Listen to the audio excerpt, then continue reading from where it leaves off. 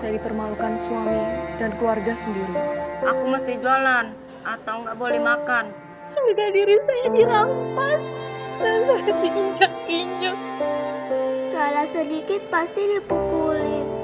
Badan saya sakit, tapi hati saya lebih sakit. Kini, dengan pendampingan dan bantuan psikososial dari Rumah Perlindungan Trauma Center, mereka bisa pulih dan bangkit kembali.